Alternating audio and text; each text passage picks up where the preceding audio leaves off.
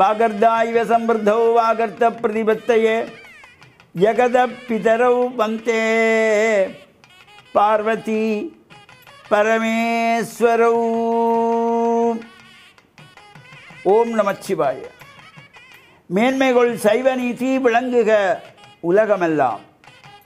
நோயற்ற வாழ்வே குறைவற்ற செல்வம்.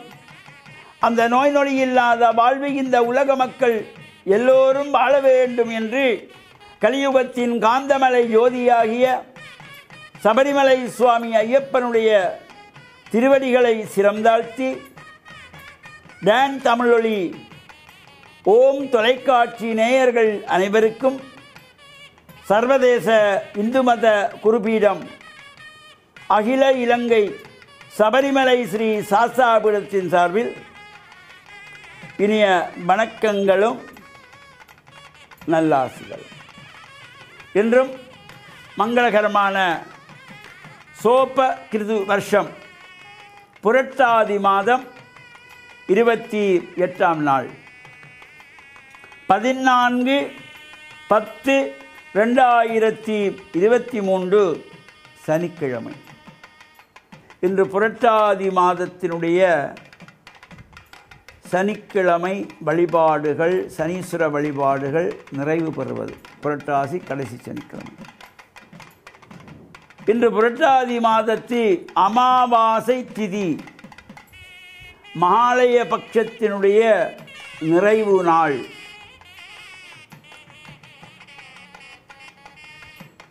தேய்பிறை பிரதமை முதல் இந்த அமாவாசை வரையிலே இந்த பதினான்கு திதிகள் நிறைவு பெற்று இன்று அமாவாசை மகாலய பட்சத்தினுடைய நிறைவு நாள். மறைந்த பிதிர்களுக்காக இந்த மகாலய சிரார்த்தங்கள் தர்ப்பணங்கள் தானங்கள் செய்து கொள்ளுவது அதேபோல் வசதி இல்லாதவர்களுக்கு நம்முடைய தாய் தந்தையருடைய வயதிலே உள்ளவர் பெரியவர்களுக்கு நம்மால் முடிந்தது ஏதாவது ஒரு வஸ்திரத்தை கொடுக்கலாம். ஒரு வேஷ்டி சால்வையை கொடுக்கலாம் ஒரு சேலையை கொடுக்கலாம். எது நமக்கு முடிகிறதோ அதை மனப்பூர்வமாக கொடுக்க வேண்டும். ஏதோ அவர் சொன்னார் இவர் சொன்னார் அதனாலே நாங்கள் கொடுக்கிறோம் என்று இல்லாமல் மனப்பூர்வமாக அந்த தாய் தந்தையரை எண்ணி வயதானவர்களுக்கு ஏதாவது கொடுத்து கொள்ளலாம். அதே போல் இந்த புரோகிதர்களுக்கு வேஷ்டி சால்வைகள் அரிசி மரக்கறி தானங்கள் வைத்து கொடுத்து தட்சணை கொடுத்து அவர்களிடத்திலும் ஆசி பெறுவது. இந்த மகாலய பட்சத்திலே நம்முடைய குடும்பத்திலே மறைந்த எல்லா பிதர்களும் ஒன்று கூடி இந்த அமாவாசையிலே வந்து இந்த நாம் செய்கின்ற எள்ளும் தண்ணீர் முறைக்கின்ற தர்ப்பணத்திற்காக எதிர்பார்த்து கொண்டிருப்பார்களாம்.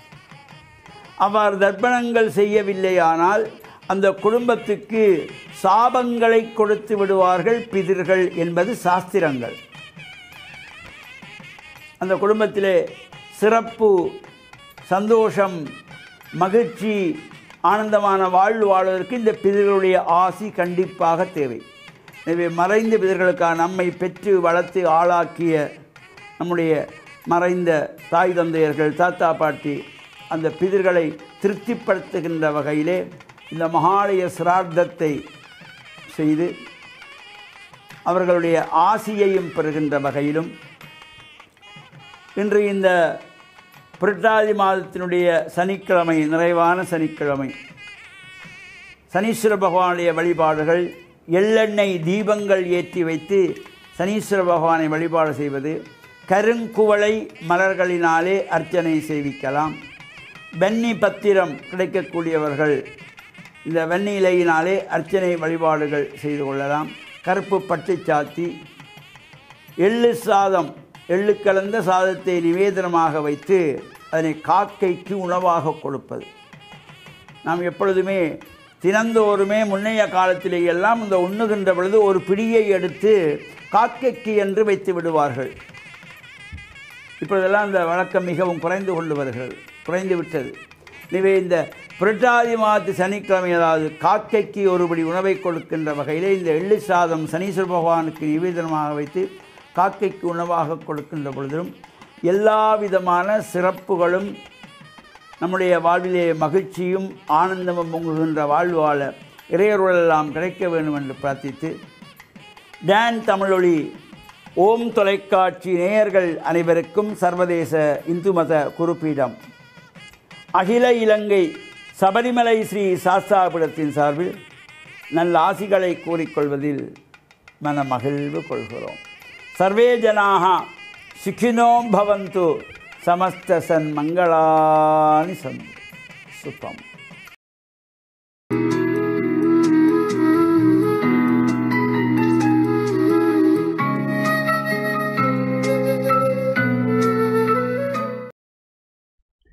இறை இயேசுவில் என் அன்பு நெஞ்சங்களே கிறிஸ்தவ நற்சிந்தனை வேளையில் உங்களை சந்திப்பதிலே பெருமகிழ்வு கொள்கின்றேன். கிறிஸ்துவினுடைய போதனை கிறிஸ்துவினுடைய உறவாடல்களிலே பலரும் கிறிஸ்துவை சந்தித்திருக்கின்றார்கள். அப்படியான ஒருவர் சக்கேயு என்று அழைக்கப்படுகின்ற வரி தண்டுபவர். வரி தண்டுபவர் என்று சொன்னால் அந்த சமூகத்திலே இவர்கள் பாவியர்கள் என்று எண்ணப்பட்டார்கள். பணக்காரர்களாக இருந்தார்கள். ஏனென்றால் அவர்கள் வரி தங்களுடைய மக்களிடம் இருந்து அறவிட்டு ரோமானியர்களுக்கு அவர்கள் அந்த வரியை செலுத்தினார்கள். இப்படியான அந்த வரி அறவிடுகின்ற வேளையில் அவர்கள் தங்களுடைய சொத்துக்களையும் அவர்கள் பெரிதாக்கி கொள்ளுவார்கள். அவர்கள் பணக்காரர்களாக இருந்தாலும் அந்த சமூகத்திலே அவர்களை தம்முடைய சொந்த சமூகத்திலே இருந்து தம்முடைய சொந்த மக்களிடம் இருந்து அறவிட்டு அந்நியர்களுக்கு அவர்கள் லாபம் வருவிக்கின்றார்கள் என்று சொல்லி பகிரங்கமாக பாவிகளாக எண்ணப்பட்டார்கள். ஆனால் இந்த சக்கேவினுடைய மனதிலே ஒரு பெரிய ஆசை ஒரு பெரிய தேடல் ஆழமான ஒரு தேடல் இருந்தது. என்னிடம் பணம் இருந்தாலும் இந்த இயேசுவை நான் சந்திக்க வேண்டும் இந்த இயேசுவை ஒரு க பார்க்க வேண்டும் என்று சொல்லி அவன் குள்ளனாக இருந்ததினாலே ஒரு அத்தி மரத்திலே ஏறி அந்த வழியாக இயேசு வர இருக்கின்றார் என்பதனாலே இயேசுவினுடைய தரிசனம் காண வேண்டுமென்ற ஆவலோடு ஏறி நிற்கின்றான். அவனையும் அவனுடைய எண்ணத்தையும் அவனுடைய தேடுதலையும் அறிந்து கொள்ளுகின்ற இயேசு சக்கையை அழைக்கின்றார் இறங்கி வா. உன்னுடைய வீட்டிலே நான் இன்று உணவருந்தப் போகின்றேன் என்று சொல்லி. உடனடியாக அந்த சக்கையை மிகவும் ஆவலோடும் ஆசையோடும் தான் எதிர்பார்த்ததற்கு மேலாக நான் பார்க்க வேண்டும் என்கின்ற இந்த போதகர் என்னுடைய வீட்டிற்கு வருகின்றாரே என்று மனமகிழ்வோடு அவரை வரவேற்கின்றார். இப்படி இயேசு பணக்காரர்கள் அல்லது பாவிகள் என்று எண்ணப்பட்டவர்களுடைய வீட்டுக்கு செல்லுகின்றார். இந்த வீட்டுக்கு போகாதீர்கள் என்று சொல்லி பலர் இயேசுவை தடுத்திருக்கலாம். இவன் ஒரு பகிரங்க பாவி. மற்றவர்களை ஏமாற்றி ஏழைகளை எல்லாம் ஏமாற்றி இவன் பெரிய பணக்காரனாக இருக்கின்றான் என்று சொல்லி இருப்பார்கள். ஆனால் இயேசு போகின்றார். அந்த சக்கேயு இயேசுவை வரவேற்கின்ற பொழுது அவனுடைய உள்ளத்திலே ஒரு புதிய உணர்வு எழுகின்றது. மனம் மாற்றம் எழுகின்றது. அவன் எழுந்து இயேசுவுடைய பிரசன்னத்திலே சொல்லுகின்றான் நான் யாராவது ஏமாற்றி அவர்களிடம் இருந்து பணத்தை நான் அறவிட்டால் நான்கு மடங்காக திருப்பிக் கொடுக்கின்றேன். என்னுடைய சொத்துக்களை விற்று அறவாசியை நான் ஏழைகளோடு பகிர்ந்து கொள்ளுகின்றேன் என்றெல்லாம் சொல்லி தன்னுடைய கடந்த கால வாழ்விலே தான் அநீதமான முறையிலே பணத்தை சேர்த்து அவருடைய அந்த பாவத்திலே இருந்து அவன் மீளுவதற்காக அதை ஈடு செய்வதற்காக அவன் தன்னுடைய மனமாற்றத்தை வெளிப்படுத்துகின்றான். அப்பொழுது இயேசு சொல்லுகின்றார் அவருக்கு மட்டுமல்ல இந்த வீட்டிற்கு மீட்பு உண்டாயிற்றென்று. அந்த வீட்டிற்கு விடுதலை கிடைத்துவிட்டது.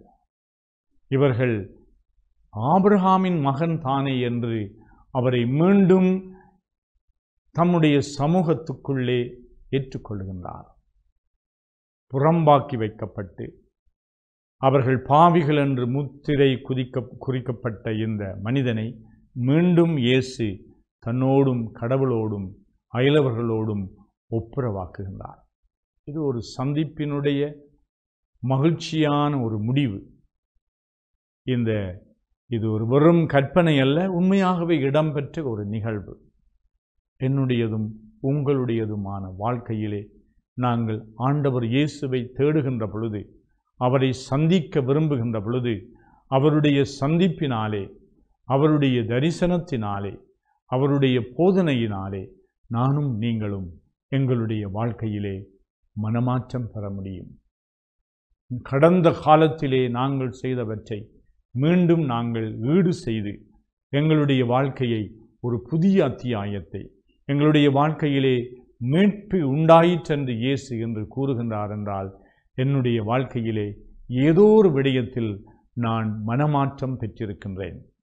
கடந்தவற்றை நான் மறந்து அவற்றை நான் அவற்றிலே இருந்து விடுதலை பெற்று ஒரு புதிய வாழ்வை அணைத்து கொள்ளுகின்ற பொழுது இந்த சக்கேயுனுடைய வாழ்க்கையிலே அவன் விடியலை சந்தித்தது போல மீட்பை சந்தித்தது போல உண்மையான கடவுளை அவன் சந்தித்தது போல நானும் நீங்களும் அத்தகைய ஒரு இரக்கமுள்ள கடவுளை நாங்கள் சந்திக்க வேண்டும்.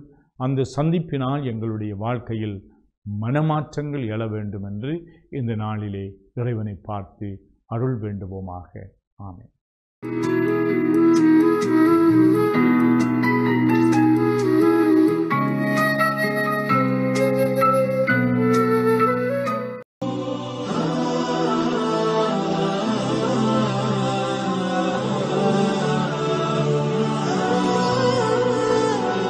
பிஸ்மில்லாஹ் ரஹ்மான் ரஹீம். இஸ்லாமிய நற்சிந்தனையினூடாக இணைந்திருக்கக்கூடிய நேயர்கள் அனைவருக்கும் அஸ்லாம் அலைக்கும் வரஹ்மத்துல்லாஹி ஒபரகாத்துஹு இஸ்லாம் மார்க்கம் இந்த உலகத்திலே நன்மை என்றால் என்ன தீமை என்றால் என்ன நல்ல காரியம் என்றால் என்ன பாவமான செயற்பாடு என்றால் என்ன என்பதை ரத்தின சுருக்கமாக எங்களுக்கு வரைவிலக்கணப்படுத்தி சொல்லியிருப்பதை நாங்கள் பார்க்கலாம். சஹி முஸ்லிம் என்ற ஹதீஸ் தொகுப்பு நூலில் பதிவு செய்யப்பட்டிருக்கக்கூடிய ஒரு ஹதீஸிலே அல்லாவின் தூதர் சல்லல்லாஹு அலிஸ்லம் அவர்கள் மிக ரத்தின சுருக்கமாக எங்களுக்கு ஒரு அழகான வரைவிலக்கணத்தை சொல்லுகின்றார்கள். எப்படி? அல் பிர்ரு ஹுஸ்னுல் ஹுலுகி வல் இஸ்மு மாஹா கஃபி நஃப்சிக்க. நன்மை என்றால் அது ஒரு நல்லொழுக்கம் நல்ல பண்பாடு. அதை போன்று பாவம் என்றால் உள்ளத்திலே ஊசலாடக்கூடிய ஒரு செயலாகும் என்று சொன்னார்கள். எனவே நன்மை என்பது எங்களுக்கு நன்மையை பெற்றுத்தரக்கூடிய காரியம். அல்லாவிடத்திலே எங்களை நல்லவர்களாக அடையாளப்படுத்தக்கூடிய காரியம். அல்லாவிடத்திலே மறுமை வாழ்க்கையில் சுவனத்தை எங்களுக்கு பெற்றுத்தரக்கூடிய காரியம் எப்பொழுதும் நல்லொழுக்கமாகத்தான் இருக்கும். நல்லொழுக்கத்தை மையப்படுத்தியே இஸ்லாம் தனது சட்டதிட்டங்களை மனித சமூகத்திற்கு அறிமுகப்படுத்தியுள்ளது என்பதை நாம் மிக தெளிவாக புரிந்து கொள்ளலாம். இந்த உலகத்திலே நாங்கள் அல்லாவுக்கு கட்டுப்பட்டு அவனை திருப்திப்படுத்துவதற்காக அவனிடத்திலே முழுமையான கூலிகளை பெற்றுக்கொள்வதற்காக செய்யக்கூடிய எந்த வணக்கமாக இருந்தாலும் எந்த இபாதத்தாக இருந்தாலும் அந்த இபாதத்தின் பின்னணியில் ஒரு நல்லொழுக்கம் இருக்கின்றது என்பதை இஸ்லாம் சொல்லுகின்றது. குறிப்பாக சொல்வதாக இருந்தால் தொழுகையை எடுத்துக்கொண்டால் நாங்கள் கட்டாயமாக ஒவ்வொரு நாளும் ஐவேளை தொழுகையை நிலைநாட்ட வேண்டும் நிறைவேற்ற வேண்டும். அந்த தொழுகைக்கு பின்னால் நல்லொழுக்கம் இருக்கின்றது என்பதை அல் குர்வான் சொல்லுகின்றதை படி இன்ன சலாத்த தன்ஹா அனில் ஃபஹ்ஷா இ வல் முன்கர். நிச்சயமாக தொழுகை பாவமான காரியத்தை விட்டும் மானக்கேடான செயல்களை விட்டும் தடுக்கின்றது என்று அல் குரு ஆனிலே அல்லாஹ் சொல்லி காட்டுகின்றான். எனவே இந்த உலகத்திலே பாவமான காரியங்களை விட்டும் விலகி நன்மையான காரியங்களை நிறைவேற்றுவதில் ஆர்வம் கொள்ளக்கூடிய பக்குவத்தை ஏற்படுத்துகின்ற வணக்கமாக இந்த தொழுகை இஸ்லாத்திலே அறிமுகப்படுத்தப்பட்டிருக்கின்றது என்பதைத்தான் இந்த வசனம் எங்களுக்கு சொல்லுகின்றது. அதே போன்று நாங்கள் ரமலான் காலத்திலே நிறைவேற்றக்கூடிய அந்த நோன்பை எடுத்துக்கொண்டாலும் பசி பட்டினியின் அந்த உணர்வை நாங்கள் உள்ளத்திலே பெற்றுக்கொள்ள வேண்டும். பசியோடு இருக்கக்கூடியவர்கள் தாகத்தோடு இருக்கக்கூடியவர்கள் எப்படியான உணர்வோடு இந்த உலகத்திலே வாழுகின்றார்கள் என்பதை நடைமுறை வாழ்க்கையிலே நாங்கள் உணர்ந்து அவர்களுடைய உணர்வில் எங்களுடைய அந்த வணக்கத்தினூடாக பங்கெடுக்க வேண்டும் என்ற ஒரு தத்துவம் அந்த நோன்பின் பின்னணியில் இருக்கின்றது என்பதை நாங்கள் புரிந்து கொள்ள வேண்டும். அதே போன்று நாங்கள் நிறைவேற்றக்கூடிய ஜக்காத் நாங்கள் கொடுக்கக்கூடிய தர்மங்கள் அதன் பின்னணியில் நாங்கள் அல்லாவுடைய பாதையிலே செலவு செய்யக்கூடிய அந்த பக்குவத்தையும் பண்பையும் நமக்குள் வளர்த்து கொள்ள வேண்டும் என்ற ஒரு தத்துவம் அந்த வணக்கத்தின் பின்னணியில் இருக்கின்றது. இப்படி இஸ்லாம் சொல்லக்கூடிய ஒவ்வொரு வணக்கத்தையும் நாங்கள் எடுத்துக்கொண்டால் அந்த வணக்கத்தின் பின்னணியிலே நல்லொழுக்கம் இருக்கின்றது. எனவே இந்த உலகத்திலே நல்லொழுக்கமுள்ள சமூகமாக முஸ்லிம் சமூகத்தை மாற்றுவதற்காகத்தான் இஸ்லாம் சன தனது சட்டதிட்டங்களை தொகுப்பு சட்டங்களை எங்களுக்கு அறிமுகப்படுத்தி இருக்கின்றது என்பதை நாங்கள் புரிந்து கொள்ள வேண்டும். எனவே தான் ரசூலுல்லாஹி ஸல்லல்லாஹு அவர்கள் மிக ரத்தின சுருக்கமாக எங்களுக்கு சொன்னார்கள். அல் பிர்ரு ஹுஸ்னுல் ஹுலுக். அதாவது நன்மை என்பது நல்லொழுக்கமாகும். வல் இஸ்மு ஹா கஃபி நஃப்சிக்க. பாவம் என்பது உள்ளத்திலே ஊசலாடக்கூடியது. ஒரு பாவத்தை செய்கின்ற பொழுது அந்த பாவத்தை மற்றவர்கள் காணக்கூடாது என்ற விடயத்திலே மனிதன் கவனம் செலுத்துகின்றான். இரகசியமாக பாவங்களை செய்ய வேண்டும் என்ற உணர்வு மனித உள்ளத்திலே இருக்கின்றது.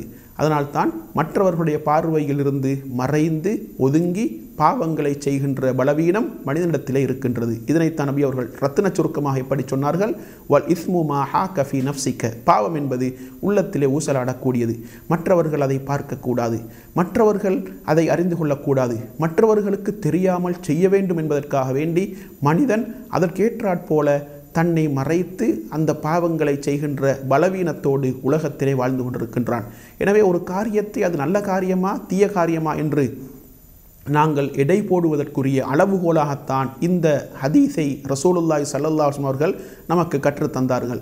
எனவே ஒரு காரியத்தை செய்கின்ற பொழுது அது நம்மில் நல்லொழுக்கத்தை வளர்க்கின்றதா நல்லொழுக்கத்தை ஏற்படுத்துகின்றதா என்பதை பார்த்து அந்த காரியத்தை செய்வதா இல்லையா என்று நாங்கள் முடிவெடுக்கலாம்.